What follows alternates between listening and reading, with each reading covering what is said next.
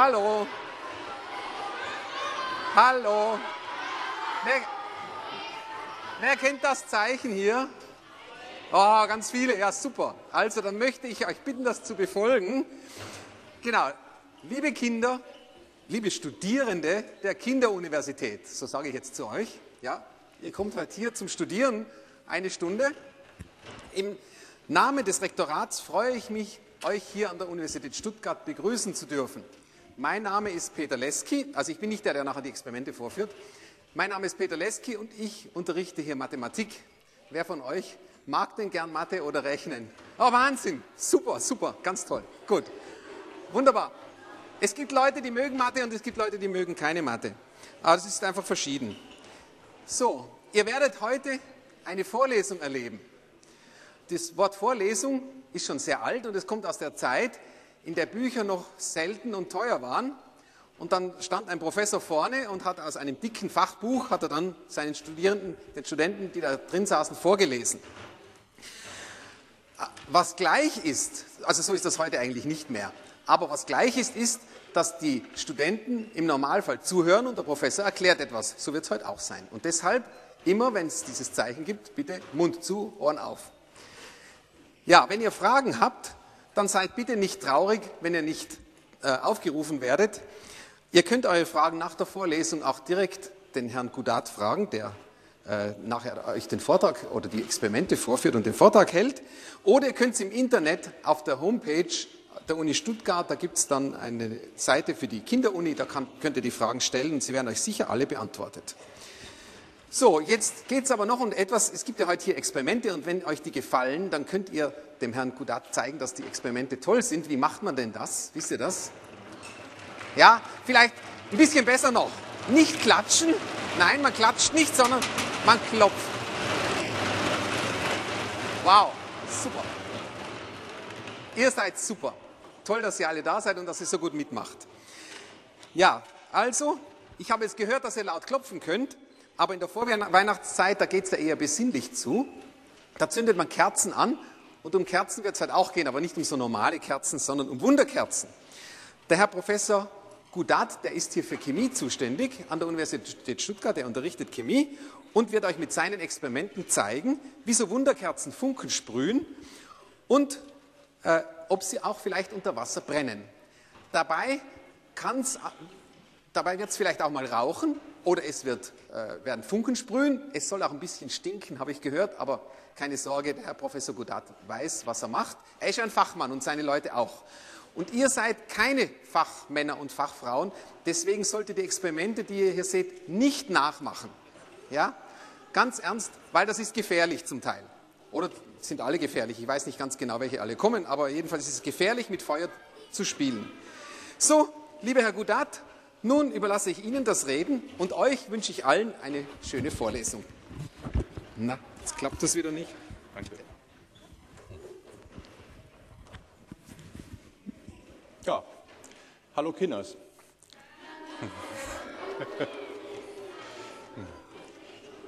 Ja, ihr habt ja jetzt gehört, ihr seid hier in der Vorlesung und in der Universität.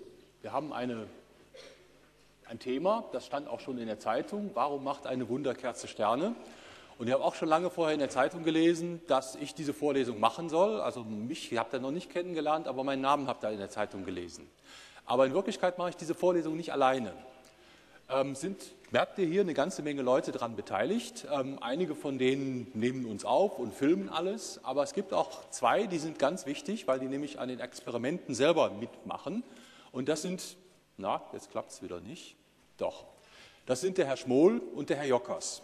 Der Herr Jockers ist derjenige, der hinten am Tisch sitzt und der ist dafür verantwortlich, ähm, dass es in dieser Vorlesung mit der Beleuchtung ganz gut klappt. Ne, weil ihr habt, wisst ja auch selber, das hat der Herr Leschke schon erzählt, in der Weihnachtszeit hat man, oder Wunderkerzen, Kerzen sind eigentlich was für die Weihnachtszeit, aber Kerzen sind nicht so richtig hell. Ne, und hier im Hörsaal ist es ziemlich hell und wenn man jetzt Kerzen schön brennen sehen will, dann muss man im Hörsaal zwischendurch ein bisschen dunkel machen. Aber das wird nie für lange sein. Und ich sage das auch nur, damit ihr nicht plötzlich erschreckt, hu, plötzlich ist kein Licht mehr da, ist auch nichts kaputt gegangen dann. Ne? Das machen wir mit Absicht. So, der zweite, der mitarbeitet, das ist der Herr Schmohl. Der steht hier neben mir und der wird halt die Experimente richtig machen. Und jetzt könnt ihr euch fragen, ja, wenn ich die Vorlesung mache, warum mache ich die Experimente nicht selber? Die Antwort ist ganz einfach, weil Experimente zu machen und die Experimente gut zu machen, da muss man sich sehr konzentrieren.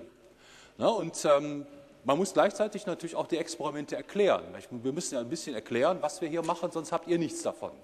Und das ist einfach zu viel Arbeit für eine Person. Ne? Deswegen bin ich hier, ich erkläre euch ein bisschen, was hier abläuft und der Herr Schmoll wird es vorführen. Und dann müsst ihr auch immer, damit der Herr Schmoll sich konzentrieren kann, immer schön leise sein. So, und jetzt ist eigentlich nur noch eine Frage ganz wichtig. Warum hat der Herr Schmoll einen Kittel an? Ha, was meinst du?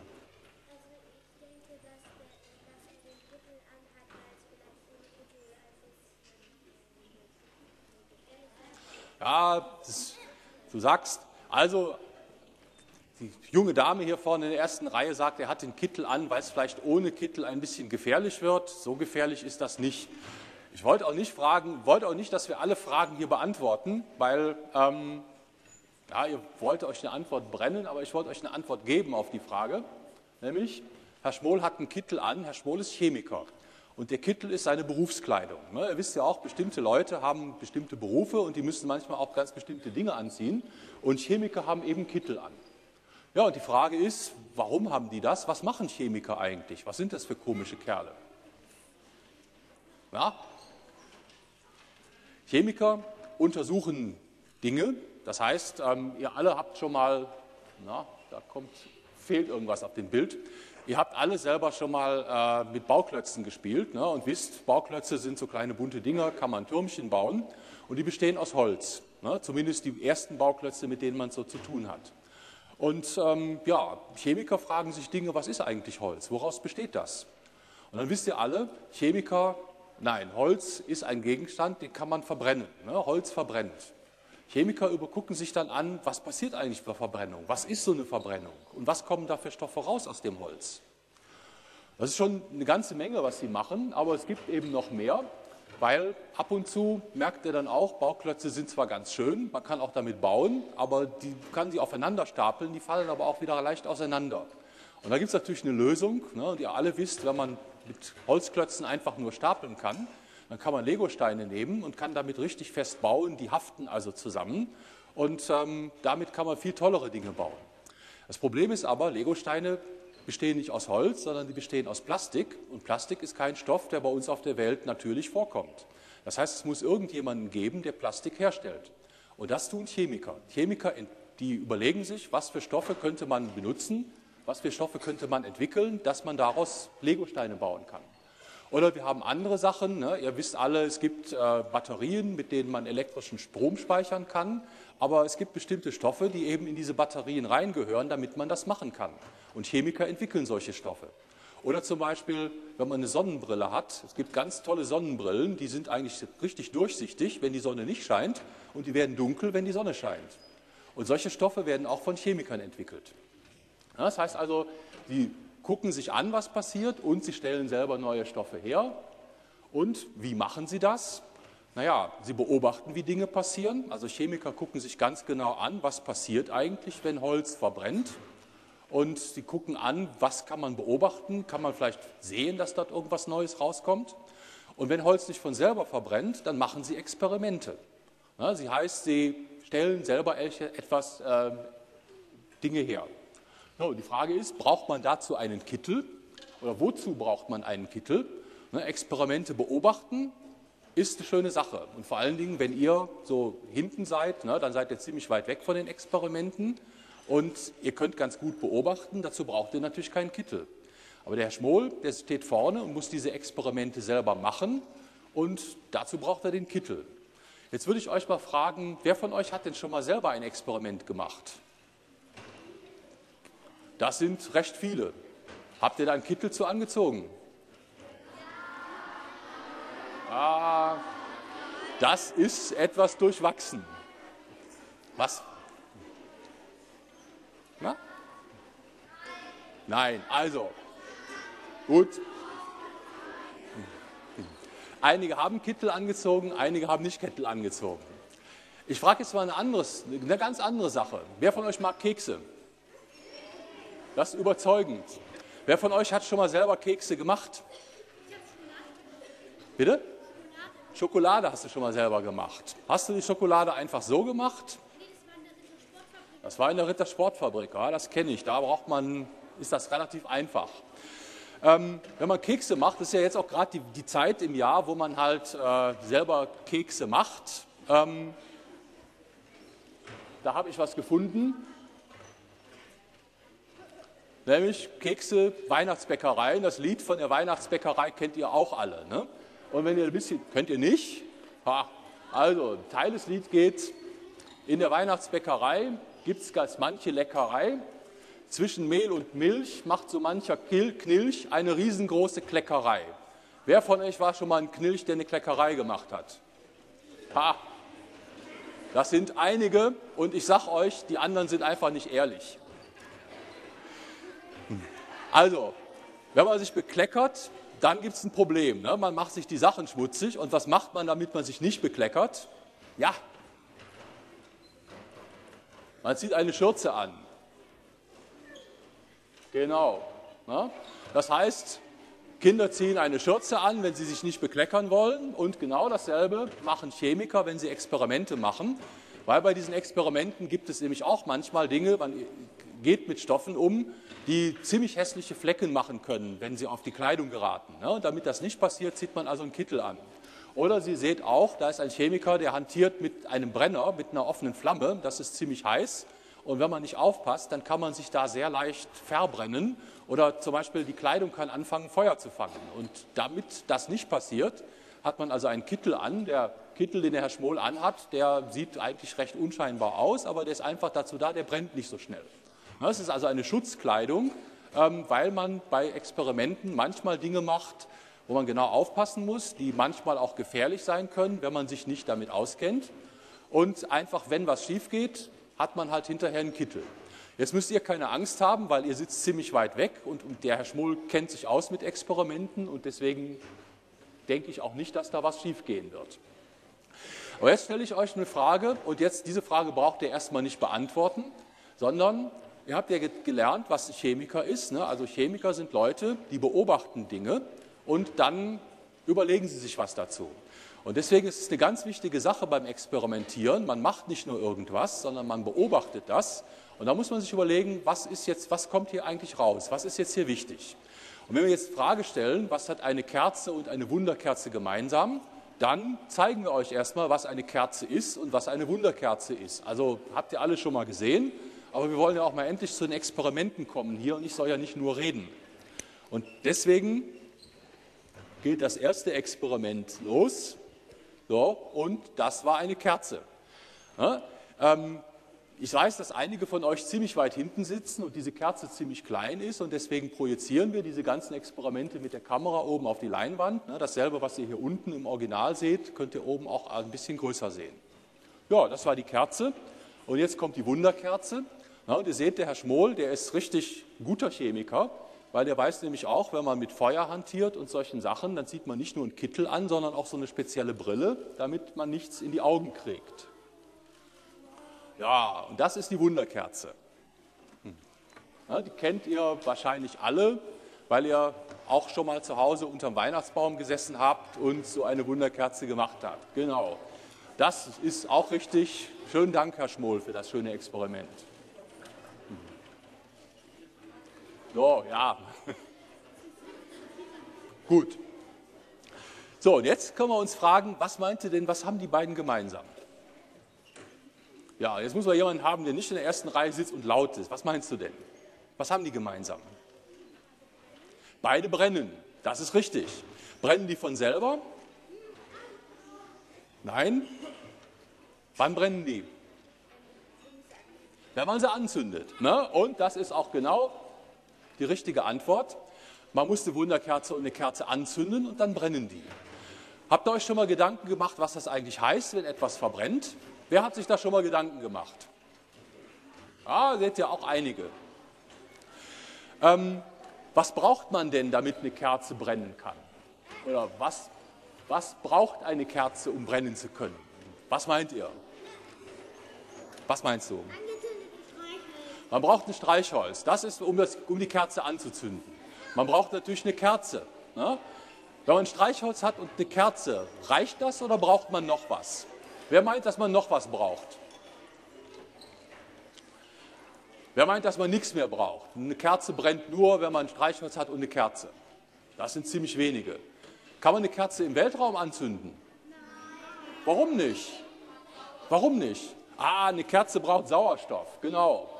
Ne, das hat, da geht es weiter. Komm mit dem Ding nicht klar. Also man braucht eine Kerze, Brennmaterial und man braucht Sauerstoff. Ne, und dann kriegt man eine Kerze, dann kann die ganze Geschichte abbrennen.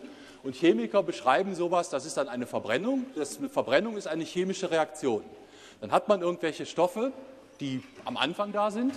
Und das ist die Kerze selber. Und die Kerze besteht aus einem Material, das heißt Paraffin. Hast du eine Frage? Was braucht man noch? Man braucht Temperatur. Das ist richtig, aber die Temperatur, die man braucht, die hat das Streichholz am Anfang. Ne? Hm. Ja. So, das heißt, wir brauchen Paraffin, wir brauchen Sauerstoff und dann braucht man Streichholz, um das Ganze anzuzünden und dann kommt was raus hinterher. Ne? Man braucht Feuer, das ist ein Streichholz. So, und dann kriegen wir was raus und das, was bei der Verbrennung entsteht, das ist Kohlendioxid und Wasser und Wärme. Und jetzt habt ihr vielleicht auch schon mal gehört, dass Chemiker, die haben, bezeichnen so etwas, die schreiben solche Sätze nicht einfach auf, sondern die sagen, wenn etwas passiert, dann beschreiben wir das mit einem Pfeil. Ne, also was links von dem Pfeil steht, das ist das, was wir vorher haben. Was rechts von dem Pfeil ist, haben wir hinterher. Und statt Wärme sagt man auch manchmal, eine Kerze macht, also eine Verbrennung produziert Energie. Ne, das heißt, es ist ja nicht nur Wärme, eine Kerze leuchtet ja auch. Und so eine Verbrennung wollen wir euch jetzt zeigen und wir wollen euch auch wirklich zeigen, dass so eine Verbrennung Luft verbraucht. Aber dazu, ja, dazu fängt der Herr Schmoll und der Herr Jockers, die fangen jetzt hier an, so ein Experiment vorzubereiten. Ja, und Sie sehen also, wir haben ein, ähm, ein Glasgefäß, dort schwimmt so ein kleines Porzellanschiffchen drin und in diesem Glasgefäß ist jetzt eine Substanz, die wir verbrennen. Das ist jetzt nicht eine Kerze, weil eine Kerze, die braucht recht lange, bis sie anzündet. Und wir haben jetzt einfach eine Substanz, die etwas schneller verbrennt. Und Sie sehen, jetzt könnte, brennt so eine Kerze in so einem Glasgefäß. Und da gibt es viel, furchtbar viel weißen Rauch. Dieser weiße Rauch wird irgendwann auch einmal verschwunden sein, werdet ihr sehen. Im Moment leuchtet es noch, weil das Ganze brennt, aber ihr seht auch, dass das Licht schon ein bisschen weniger wird.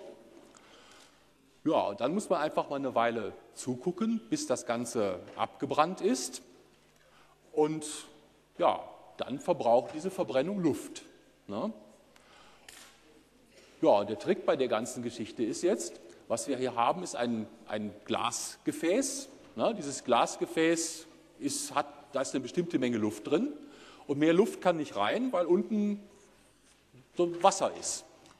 Und äh, wenn wir jetzt Luft aus dem Glasgefäß entfernen durch die Verbrennung, also wenn die Verbrennung Luft verbraucht, dann ist da hinterher weniger Luft drin. Und ihr werdet dann sehen, wenn die Verbrennung abgelaufen ist, zu Ende abgelaufen ist, dann ist da weniger Luft drin als vorher und dann wird das Wasser ganz einfach in dieses Gefäß hochsteigen, hoffe ich mal. Ja, und glaubt, wenn man auf der Kamera oben guckt, kann man das schon so ein bisschen sehen. Das Wasser wird richtig in diese Glocke reingesaugt, da wo vorher mal Luft war.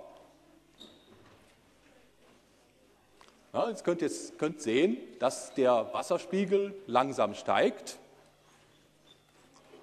Und das Ganze geht dann, was meint ihr, wie lange? Steigt er bis ganz oben? Nein, warum nicht? Weil?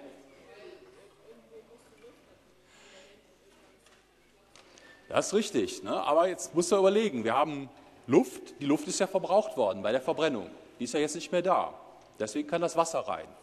Wird die ganze Luft verbraucht bei der Verbrennung? Wer weiß das? Nein, was meinst du? Bitte? Der Unterdruck ist nicht stark genug. Doch, ist er. Ja, wir können mal gucken, das ist jetzt fast so bis zum ersten Strich gestiegen.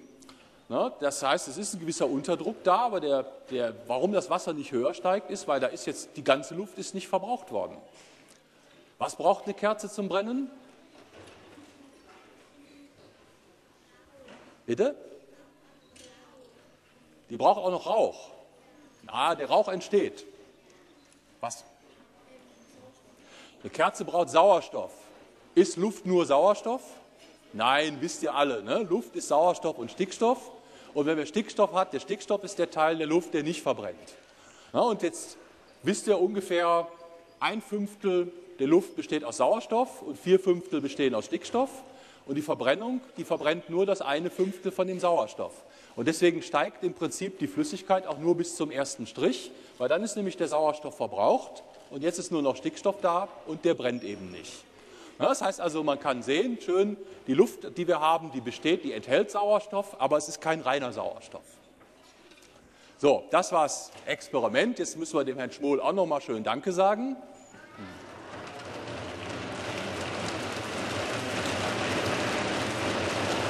Jo, super.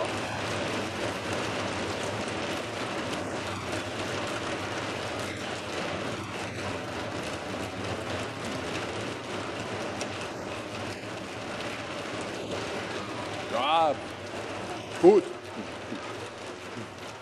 Spart euch, spart euch noch ein, spart euch noch ein bisschen Energie auf. Das war nicht das einzige Experiment. Was braucht eine Wunderkerze, um brennen zu können? Sie braucht Streichholz. Ne?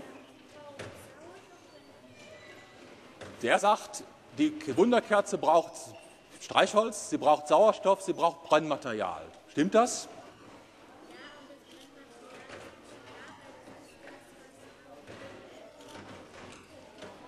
Ja, das Brennmaterial ist schon da. Und in der Tat ist es so, eine Wunderkerze braucht nämlich keine Luft, um zu verbrennen. Das heißt also, eine Wunderkerze braucht Brennmaterial, das ist die Wunderkerze, aber eine Wunderkerze braucht keine Luft. Und wenn ihr das nicht glaubt, dann macht der Herr Schmoll ein Experiment, der macht euch das nämlich vor. Ihr wisst alle, wenn man einen Gegenstand hat, der verbrennt, ne, dann braucht man Luft. Und ihr habt gerade gesehen, wir haben hier Wasser und wenn wir Wasser haben, ne, in Wasser ist keine Luft oder ist so wenig Luft, dass normalerweise benutzt man Wasser, um Feuer zu löschen, ne, damit eine Verbrennung aufhört. Und wenn man eine Wunderkerze hat, dann kann man die anzünden. Ne, der Herr Schmoll macht das jetzt. Und dann taucht der Herr Schmoll die Wunderkerze in Wasser und ihr werdet sehen, die brennt weiter. Ne, die geht an und Oh, eine Wunderkerze brennt auch ohne Wasser. Äh, nein, ja. eine Wunderkerze brennt auch ohne Wasser, aber vor allen Dingen brennt eine Wunderkerze ohne Luft. Ne? Jo. Nochmal schönen Dank, Herr Schmoll.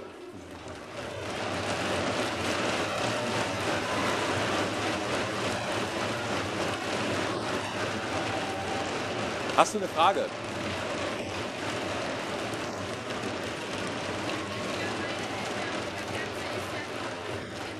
Genau, hier kommt, hier kommt die richtige Auflösung. Ne? Das heißt, eine Wunderkerze, in der Wunderkerze kommt, ist ja Luft drin, hat er gerade gesagt. Jetzt müsst ihr euch das nicht so vorstellen, dass da wirklich irgendwie ein Luftballon zusammengepresst wird und in die Wunderkerze reinkommt. So einfach geht das nicht. Aber es gibt bestimmte chemische Stoffe, die können praktisch die Stelle der Luft abnehmen, die können den Sauerstoff liefern, der für eine Verbrennung gebraucht wird. Das heißt also, man hat eine Wunderkerze, dort hat man Brennmaterial und man hat einen Stoff, der den Sauerstoff liefert. Und solche Wunderkerzen brennen deshalb auch ohne Luft. Ja, solche Stoffe, die die Sauerstoff liefern, die haben häufig noch eine Eigenschaft. Die führen nämlich dazu, dass eine Verbrennung sehr viel schneller abläuft als normal. Und das wollen wir euch auch in einem Experiment demonstrieren. Und zwar mit etwas, was ihr alle schon mal bestimmt zu Hause gemacht habt. Wer von euch hat schon mal gegrillt? Ha, eigentlich fast alle.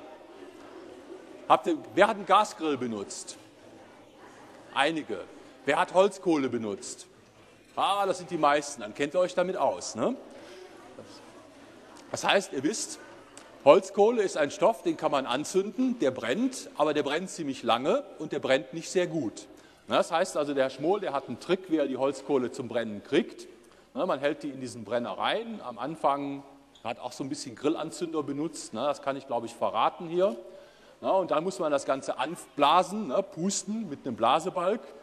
Und dann seht ihr, die Holzkohle fängt dann an zu glühen.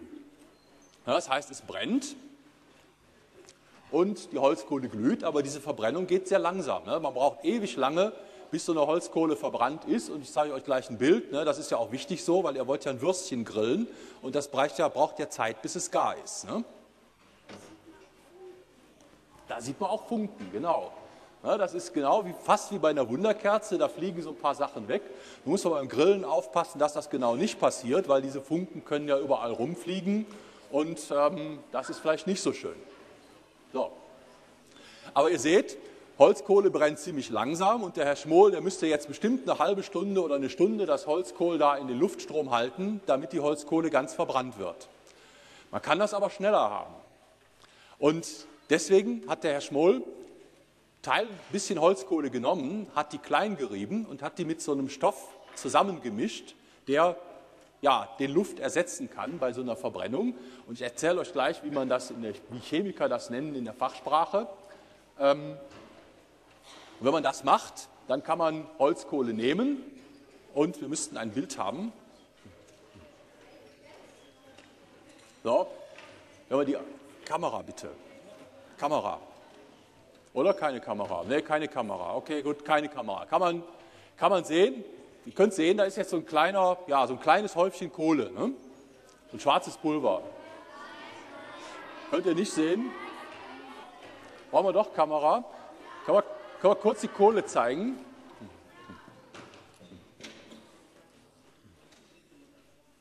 Müssen wir nochmal Licht machen.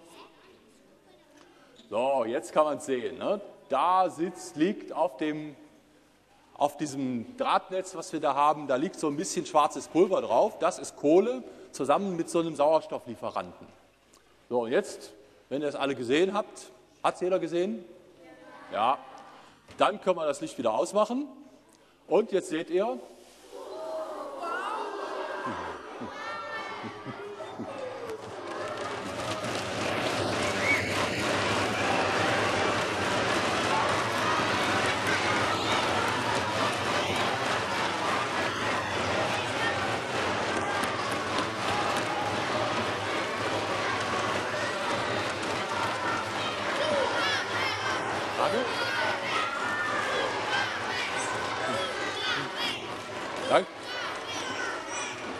Ruhig. Zugabe kommt. Kein Problem. So. Ja, aber nicht, nicht dasselbe nochmal. Wir machen andere Experimente. Oh.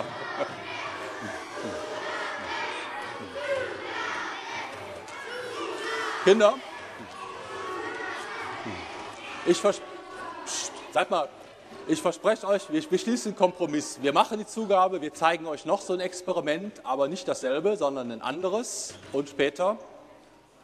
Und wenn es nicht toll war, dann machen wir zur Not auch zum Schluss das hier nochmal neu. Aber wir möchten, wir machen es.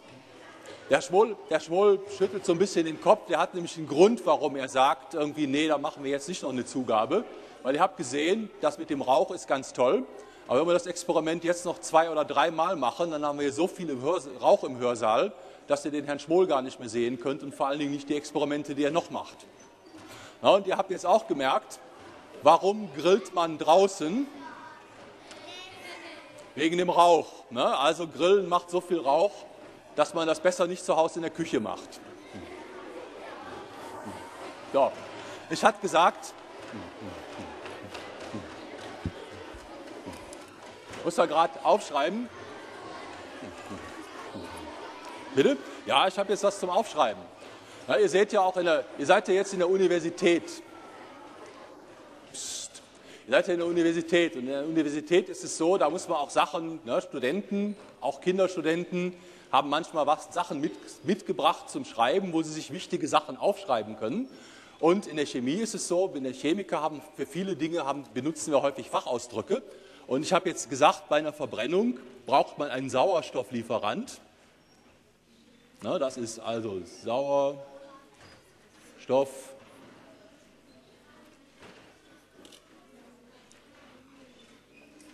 Lieferant. Und das nennt man in der Chemie auch, das ist ein Oxidationsmittel. Das ist ein Fremdwort, heißt aber eigentlich nichts anderes.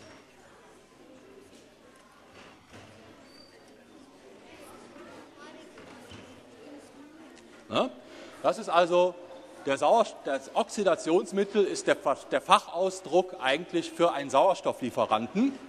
Und wir können noch was aufschreiben, eine Verbrennung.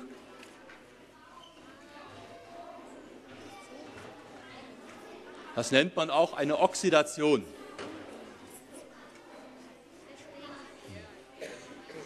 So. Müsst ihr euch merken, und wenn dann hinterher eure Eltern, die nebenbei sitzen oder vielleicht euer Papa oder eure Mama, die gar nicht mitkamen, mitkonnten, weil die heute keine Zeit haben, wenn die wissen wollen, was ihr gemacht haben, dann haben die gesagt, könnt ihr sagen, oh, wir haben gelernt, was eine Oxidation ist. Und dann könnt ihr mal gucken, meistens werden denen wahrscheinlich dann die Kinnlade runterfallen, die werden gar nicht wissen, was das ist. Und dann könnt ihr denen das erklären. Ah, deine Mutter weiß das, das ist gut. Deine auch. Wer, wessen, Eltern wissen, wessen Eltern wissen, was eine Oxidation ist? Ha, guckt mal an. Deswegen schicken die euch dann zur Universität. Machen wir weiter mit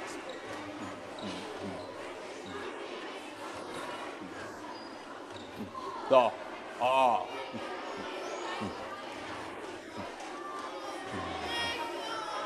Lecker, ja.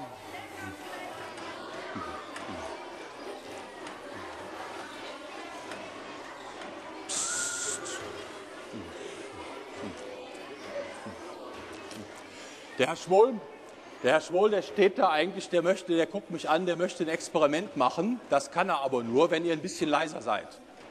Ne, also wir haben jetzt gesehen, Sauerstofflieferanten, Oxidationsvermittel, die machen Verbrennungen sehr schnell und die führen auch dazu, dass Dinge, die verbrennen, sehr heiß werden. Und manchmal fangen solche Dinge an zu leuchten und wir können uns fragen, warum leuchten denn eigentlich Wunderkerzen oder Sterne? Und die Antwort ist äh, Holzkohle oder Wunderkerzen. Die Antwort ist, weil sie heiß sind. Ne, das heißt also, wenn man einen Stoff sehr heiß macht, dann fängt er an zu leuchten. Und das Ganze kann man manchmal unbeabsichtigt machen, ne, wenn man zu Hause am Herd, am Elektroherd die Platte anlässt. Nach einiger Zeit fängt die an zu glühen. Und dass man sowas machen kann, das seht ihr jetzt hier mit der Kamera. wir haben jetzt hier zwei, zwei Metalltiegel. Und der Herr Schmoll hat den einen, unter den einen hat er jetzt so einen Brenner gestellt. Und wenn man den Brenner dann eine längere Zeit drunter lässt, dann wird der Metalltiegel heiß. Und wenn er ganz heiß wird, seht ihr, dann fängt er an zu glühen. Ne? Der fängt an zu leuchten. Und wenn es ein bisschen länger dauert, dann seht ihr, dass man da den ganzen Tiegel zum Leuchten bringen kann. Ja, könnt ihr sehen? Ja. So, nein, noch ein bisschen länger gucken. So, ja, Im Hintergrund kann man noch den zweiten Metalltiegel sehen, der ist, leuchtet nicht, der ist kalt und der heiße, der fängt an zu glühen. Ja, also wenn man Dinge sehr heiß macht, fangen die an zu glühen.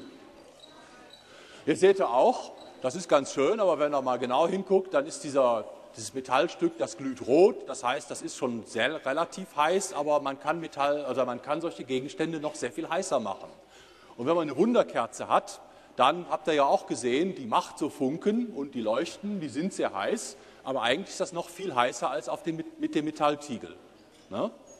Und das heißt, was wir jetzt brauchen, ist irgendwo ein, ein Material, irgendein Stoff, der verbrennt und dafür so viel Hitze macht, dass das Verbrennung nicht, nicht rot glüht, wie bei der Holzkohle oder wie jetzt bei dem Metalltiegel, sondern dass es wirklich weiß glüht.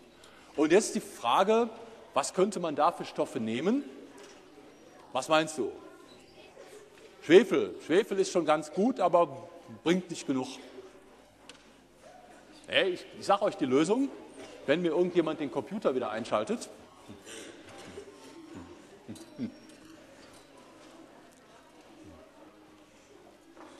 Welche Stoffe können so, Hitze, so viel Hitze liefern? Metalle. Ne, ihr kennt alle, ihr wisst, Gold und Silber kennt ihr. Ne? Wer, kennt, wer hat schon mal gehört, was Gold ist? Ah, klasse. Wer kennt Silber? Wer kennt das Metall, was dort rechts auf dem Bild ist? Wer, hat, wer von euch hat einen Metallanspitzer? Wisst ihr aus was für Metall der besteht? Sage ich euch gleich. Das was, nein, nicht ganz. Alu ist Guck mal auf dem Bild links, da siehst du so eine Metallfolie. Na, Metallfolie ist Alufolie. Ja, und der, der sagt, also Aluminium ne, oder Alu, daraus macht man Folie. Und das andere Metall, woraus Anspitzer gemacht sind, das ist Magnesium. Das ist auch ein Metall, habt ihr vielleicht noch nie von gehört. Aber Magnesium ist ein Metall, was sehr gut brennt. Und deswegen, ja, wird der Herr Schmoll euch jetzt mal zeigen, dass man auch Metalle anziehen kann. Und jetzt seht ihr, der Herr Schmoll ist vorsichtig, der zieht eine, eine Sonnenbrille an. Ihr müsst jetzt mal ganz still sein, weil das, was ich jetzt sage, ist wichtig. Psst. Also, pass auf. Das Magnesium ist ein Metall, was sehr heiß verbrennt und dann macht es eine sehr helle Flamme. Und diese Flamme, die kann so hell sein, dass man richtig, dass es zu hell ist, dass man da reingucken kann. Bitte? Ja, beim, ne, genau so eine Flamme wie beim Schweißen, nur noch heller. Und Schweißer tragen ja auch so eine Schutzbrille. Jetzt habt ihr nicht alle eine Schutzbrille. Das heißt, ihr könnt euch das auch gerne angucken. Das ist nicht, nicht so gefährlich, weil ihr alle ziemlich weit weg sitzt. Aber wem es zu hell wird, bitte einfach die Augen zukneifen oder weggucken. Ja? Na, das ist so toll, dass man das auf jeden Fall sehen kann. Ja, aber nicht unbedingt direkt in die Flamme gucken. Und jetzt seht ihr, boah, jetzt kann man das hier richtig dunkel machen. Ja.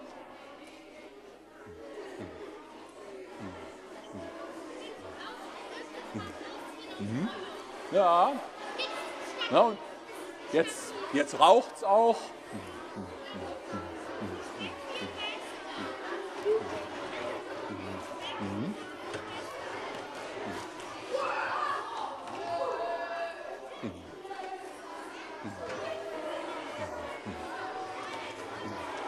Ja.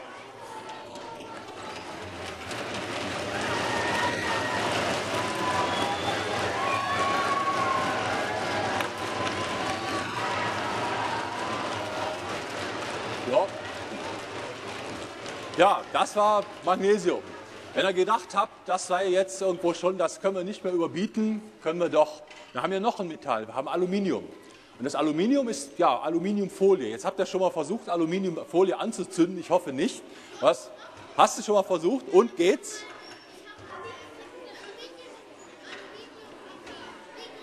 Ja, Aluminium in der Mikrowelle sollte man nicht machen. Aber passt auf. Ruhe.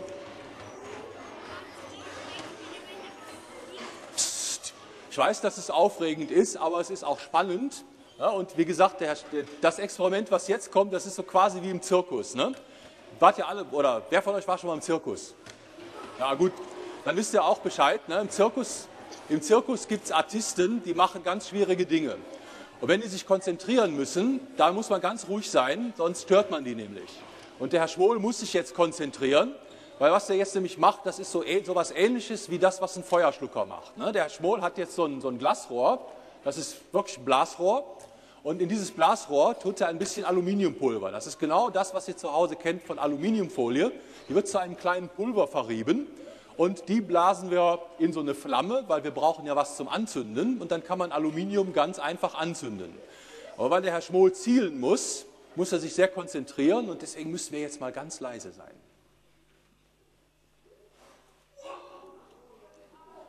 Habt das alle gesehen? Haben nicht alle gesehen.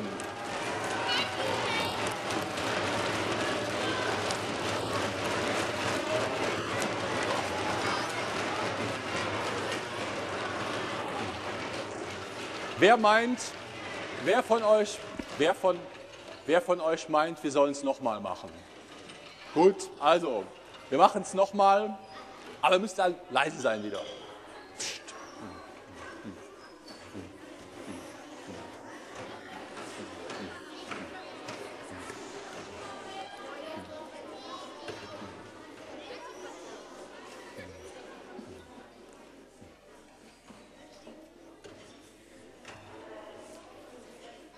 Also das Ganze nochmal. Also Aluminiumpulver in so ein Glasrohr und dann ganz leise sein, Herr Schmoll muss zielen. Licht aus, Spot an.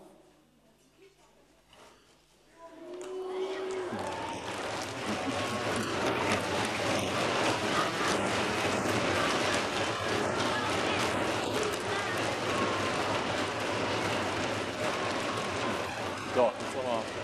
Genau. Ja, eigentlich, eigentlich wäre jetzt alles klar, oder? Wir wissen jetzt, wie eine Wunderkerze funktioniert. Wir wissen, wir haben, brauchen ein Metall, wir brauchen ein Oxidationsmittel, also einen Stoff, der Sauerstoff liefern kann. Der kann das Metall verbrennen. Das Metall, was in der Wunderkerze drin ist, ist nämlich auch Aluminium. Und so eine Wunderkerze kann dann ohne Luft brennen. Und die Hitze, die bei der Verbrennung entsteht, die ist so hell, dass die Wunderkerze ganz hell anfängt zu leuchten. Ne? Ist doch eigentlich alles ganz klar, oder? Ja. So, jetzt müsst ihr noch was lernen über das, was Chemiker machen. Ach, ganz leise. Also, hört zu, pass auf. Normalerweise sagt man dann immer als Chemiker, okay, ich habe jetzt was beobachtet, ich habe ein Experiment gemacht, ich habe es verstanden. Und dann, wenn man ein guter Chemiker ist, dann fragt man sich, habe ich das auch wirklich verstanden? Und wenn man sagt, sich fragt, habe ich das auch wirklich verstanden, wie kann man es überprüfen? Und die Antwort ist, man macht nochmal ein Experiment. Ja, wir haben jetzt gelernt, also eine Wunderkerze enthält einen Stoff, ein Oxidationsmittel. Eine Wunderkerze kann eigentlich ohne Luft brennen. Und das heißt, wir müssten eigentlich eine Wunderkerze, wenn wir die in Stickstoff brennen lassen. Ne? Wir haben ja gelernt, Luft besteht aus Stickstoff und Sauerstoff. Der Stickstoff verbrennt nicht. Ne? Wenn wir also eine Wunderkerze in reinem Stickstoff anzünden, dann sollte die eigentlich weiter brennen. Und genau das Experiment hat der Schmoll jetzt auch vorbereitet. Ne? In diesem Glaszylinder, Glasrohr, das ihr da seht, hat er jetzt Stickstoff eingefüllt. Und ja, jetzt nehmen wir eine Wunderkerze, zünden die an und halten sie nochmal hoch, Herr Schmoll, dass man sieht, die brennt. Und jetzt kommt die Wunderkerze in den Stickstoff und geht sie aus? Nein. Da ist kein Luftloch. Ja, ein bisschen Luft ist drin. Aber seht ihr den Unterschied, wenn man die Wunderkerze rausnimmt und reintut? Gibt es einen Unterschied? Ja, was denn? Das ist kleiner. Das wird, ja, das Licht wird kleiner und was noch? Ähm, Ja, es verwischt ein bisschen. Da, seht, na, das ist Ja, jetzt warte ich dich da hinten mal. Laut und die anderen sind leise. Genau. Ja, es gibt keine Funken mehr. Wo sind die Funken? Ja, sind weg. Ne? Also, das heißt, wir können erklären, warum eine Wunderkerze weiterbrennt im Stickstoff, aber es sind keine Funken mehr da. Und jetzt müssen wir uns überlegen, offensichtlich ist unsere Idee, die wir gehabt haben, wie eine Wunderkerze funktioniert, noch nicht ganz richtig. Es fehlt nämlich noch was. Und das heißt, wo kommen die Funken her? Hast du eine Idee? Vom Stickstoff? Nee. Wunderkerze enthält noch was. Die enthält Eisen. Wer von euch kennt Eisen? Ha, alle. Was ihr da seht, sind so Eisennägel auf dem Bild. Wisst ihr auch, warum einige von den Eisennägeln blank sind und einige sind rot? Warum? Sag, sag mal. Ja, weil die rosten. Ne? Eisennägel rosten. Und der Herr Schmoll, der, der, bereitet jetzt schon ein Experiment vor, aber müssen wir gleich gucken. Ähm, Eisennägel rosten. Und Rosten ist eigentlich auch eine Verbrennung. Ne? Weil das, was beim Rosten passiert, ist genau dasselbe, was beim Verbrennen passiert. Nur wenn Eisen rostet, geht das sehr, sehr langsam und deswegen muss man Nägel ziemlich lange aufbewahren, bevor die richtig anfangen zu rosten. Jetzt seid ihr mal ganz leise, weil da ist jemand, der hat eine Frage, der sitzt ganz weit hinten und deswegen musst du ganz laut sprechen. Dann wird es? Wird es? Ich habe es immer Wärmer. Ja, wird es ein bisschen wärmer? Ja, könnte sein. Aber ne, Frage ist, brennt Eisen? Kann man Eisen anzünden? Ja, nee, was meinst du?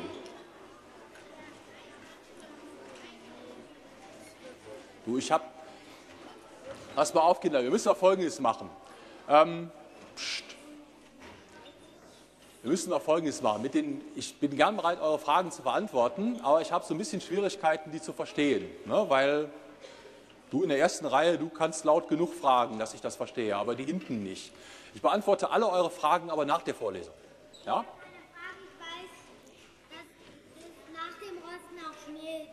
Nach dem Rosten kann man es auch schmelzen, das stimmt. Aber was wir jetzt machen, ist, wir müssen mal gucken, was der Herr Schmoll dort macht und ein bisschen auf die Kamera brennen.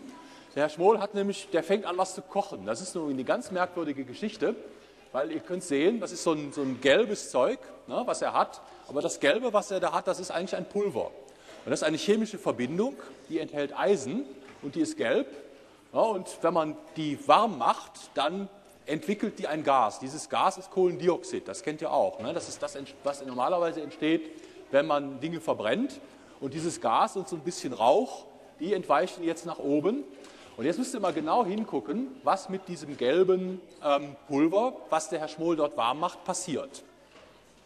Ich komme mal ein bisschen näher, dass ich das ein bisschen besser beobachten kann. Also im Moment, so unten im Reagenzglas, da brodelt es und kocht es. und man kann, ja, man kann auf jeden Fall sehen, dass es gelb ist. Ne? Und ja, es kocht und brodelt eine Weile vor sich hin. Jetzt haben wir genau dasselbe Problem, was ihr habt, wenn ihr Kekse backt. Ne? Wenn man Kekse backt und hat den Teig angerührt, dann tut man den Backofen und was tut man dann? Warten, genau. Ne? Und deswegen müssen wir jetzt auch warten.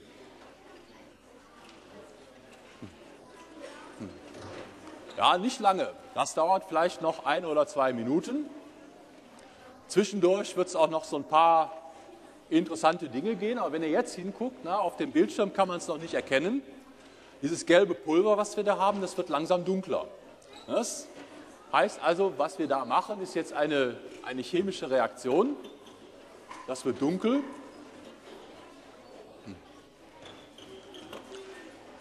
Kekse backen 20 Minuten. Wir brauchen höchstens zwei. Wow. Zwei Minuten können ganz schön lang sein. Ja, 20 Minuten wären auch lang. Wenn hier 20 Minuten Pause wären, dann würdet ihr wahrscheinlich alle rausgehen und euch ein Eis holen. Aber wenn ihr jetzt mal hinguckt, dann könnt ihr erkennen, unten fängt sich das an zu verändern. Ne? Das ist nicht mehr ganz gelb, sondern das fängt an dunkel zu werden. Ja, blau, kommt oben immer noch gelber Rauch. Ja, wenn ich, ah, da, da brennt was. Man kann Dinge anzünden. Ich glaube, jetzt ist es bald soweit. Na, wenn das oben anfängt zu brennen, dann ist das schon ziemlich gut.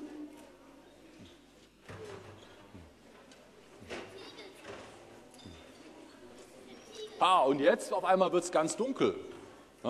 Jetzt passiert nämlich Folgendes, wir machen aus diesem gelben Pulver, entsteht Eisen. Das heißt, der Herr Schmoll ist in der Lage, dort Eisen herzustellen.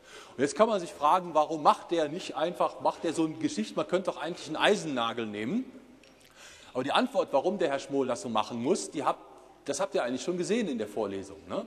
Wenn wir einen Stoff haben wie Magnesium, ne, das Magnesium, was vorhin gebrannt hat, dann ähm, brennt das sehr langsam ab und vor allen Dingen, wenn so ein Stoff wenn wir ziemlich viel, ziemlich viel Magnesium haben oder ziemlich viel Eisen, dann ist das gar nicht so einfach, das zum Brennen zu kriegen. Das brennt nicht so ohne weiteres. Aber wenn man Metall, so wie Eisen oder auch wie Aluminium, wenn man das in ganz kleine Körnchen zerlegt und praktisch so ein Pulver daraus macht, wie der Herr Schmoll das mit dem Aluminiumpulver vorhin vorgestellt hat, dann kann so ein ähm, Metall kann selber an, oder verbrennt viel schneller und vor allen Dingen, das brennt auch gleich, ohne dass wir ein Streichholz brauchen.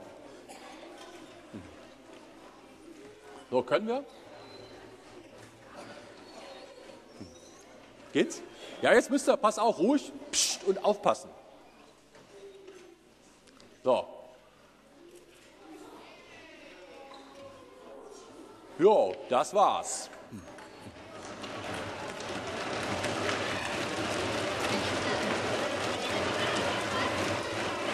Danke. So, jetzt sind wir, sind wir fast soweit. Ich wollte mal gucken, wenn ihr Zeit und Lust habt, dann zeige ich euch noch was.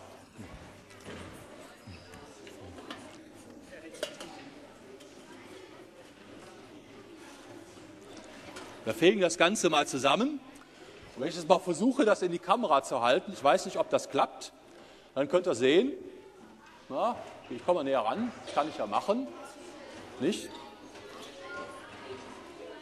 Oder, ja gut, tun es auf das weiße Blatt Papier.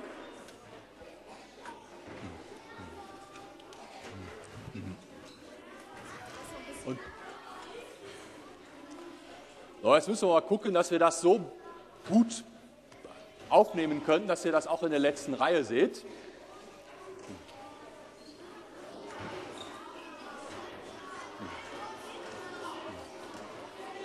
Ah, da war's. Ja. Ja, kann man nicht so ganz gut sehen. Aber was ihr machen könnt, ihr könnt am Ende der Vorlesung mal nach vorne kommen und dann könnt ihr euch das angucken und dann werdet ihr sehen, das sieht nicht mehr aus wie Eisen, ist auch nicht mehr silbrig glänzend, sondern das hat wirklich diese Rostfarbe. Ne? Das heißt also, das Eisen, was der Herr Schmoll produziert hat, das ist in ganz kurzer Zeit verrostet. Und jetzt tut mir bitte einen Gefallen und geht nicht nach Hause und sagt euren Eltern, dass sowas geht. Dann haben die nämlich Angst davor, dass sie ihr Auto, wenn das mal in der Sonne steht und warm, fährt, warm wird, auch anfängt so schnell zu verrosten und dann auf einmal weg ist. Aber da könnt ihr denen auch sagen, braucht ihr keine Angst zu haben, ne, weil das passiert nur, wenn das Metall vorher zu so einem Pulver verrieben wird. Normalerweise dauert das sehr viel länger und so ein Auto rostet auch ziemlich lange. So, jetzt passt auf, jetzt müssen wir Folgendes machen. Ja, wir haben eine Antwort auf unsere Fragen. Ne? Also, ihr wisst jetzt, warum eine Wunderkerze Sterne macht oder Funken, nämlich das Aluminium verbrennt, ja, dann die Hitze, die erzeugt das Leuchten. Dann gibt es in der Wunderkerze Eisen. Dieses Eisen, die kleinen Eisenkörner, die werden durch die Luft gesprüht und die verbrennen dabei an der Luft. Ne? Dafür braucht die Wunderkerze Luft. Dann entstehen die Funken und dann kann man das Ganze hinterher sehen. Wir sind fast fertig. Wir sind fast fertig. Wir wissen, also ihr wisst jetzt hoffentlich, warum so eine Wunderkerze funktioniert und dass es recht kompliziert ist. Ne? Man braucht ein Metall für die Hitze und ein Metall für die Funken. Und eigentlich könnte damit alles zu Ende sein, aber am Ende so einer Vorlesung ist es immer so, ne, ihr habt gemerkt, ich habe jetzt hier nicht alleine geredet, sondern es haben eine ganze Menge Leute mitgeredet. Und deswegen muss man sich auch bei diesen Leuten bedanken. Also es geht ein ganz großes Dankeschön.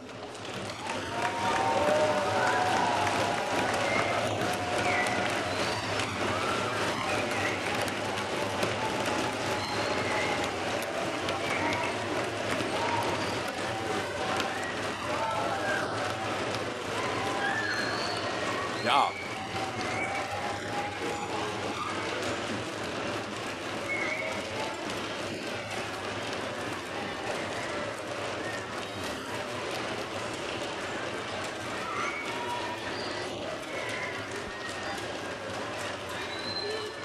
Also, ein ganz großes Dankeschön an Herrn Schmoll, an Herrn Jockers, an die anderen Damen und Herren, die hier bei der, bei der Durchführung der Vorlesung geholfen hat, aber auch an die, die jetzt gar nicht hier im Vorlesungshörsaal sind, nämlich die Stuttgarter Zeitung, ähm, die äh, Organisation für hochbegabte Kinder und das Studentenwerk. Studentenwerk, das sind die, die euch die Brezeln serviert haben. Und ich muss auch, darf auch nicht vergessen, nämlich das Failing Lab und die, das Jungchemikerforum, die waren auch beteiligt. Das waren nämlich die, die das Speiseeis gemacht haben oder die, die Kohlendioxid draußen aufgebaut haben, mit dem ihr selber vorher ein bisschen experimentieren könnt. Jetzt sind wir fast fertig mit der Danksagung. Am Ende der Vorlesung muss man aber auch noch, pst, man muss auch noch den wichtigsten Leuten danken an der Vorlesung. Und das seid nämlich ihr, weil ihr nämlich gekommen seid und weil ihr zugehört habt und weil ihr so schön mitgemacht habt. Und jetzt könnten wir eigentlich alle nach Hause gehen, wenn ich euch nicht noch eine Zugabe versprochen hätte. Und mit dieser Zugabe müssen wir es jetzt auch ernst nehmen. Das kommt jetzt eigentlich, gut, jetzt hätte ich noch zwei Bilder gehabt, aber der eine Punkt ist jetzt, ihr geht nach Hause und wenn ihr nach Hause geht, dann hoffe ich mal, dass in der Weihnachtszeit genug Zeit ist, dass ihr euch mal, auch mal eine Wunderkerze anmachen könnt und dann mal gucken könnt, wie schön das ist, wenn die Funken fliegen.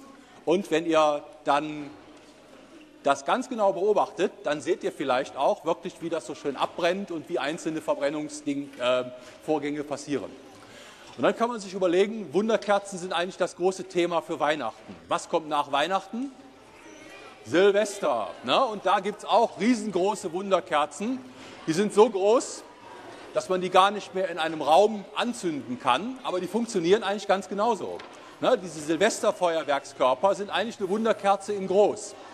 Und damit ihr das glaubt, hat der Herr Schmoll noch ein letztes Experiment vorbereitet. Konzentration, jetzt kommt die Zugabe. Nämlich, der Herr Schmoll hat eine ganz große Wunderkerze, die so groß ist, dass auch in der letzten Reihe die Leute, die Kinder ohne Kamera sehen können, wie die abbrennt. Und dazu muss man nochmal Licht ausmachen und ganz ruhig sein. Das ist noch nicht die Wunderkerze, das ist nur die Zündschnur.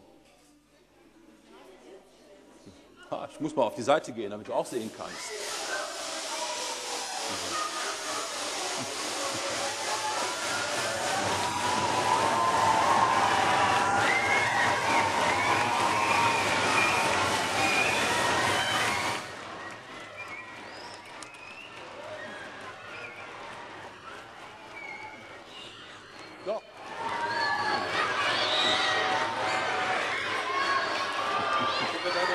Leute finden. Ein was? Können wir gleich das noch zur Übergabe machen? Können wir machen. Mhm.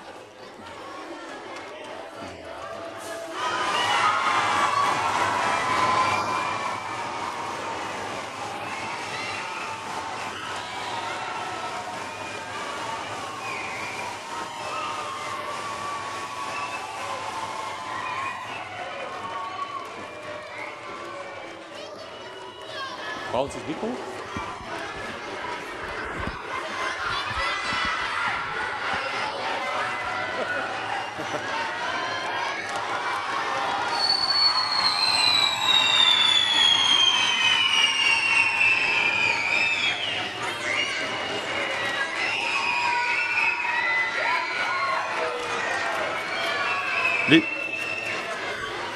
Liebe Kinder, man sieht deutlich und hört es vor allen Dingen, dass es euch ganz toll gefallen hat. Und ihr habt ja auch hier alle unterschrieben. Fast alle. Und als Dankeschön übergeben wir jetzt diese Liste mit den ganzen Unterschriften dem Professor für diesen tollen Vortrag. Herzlichen Dank.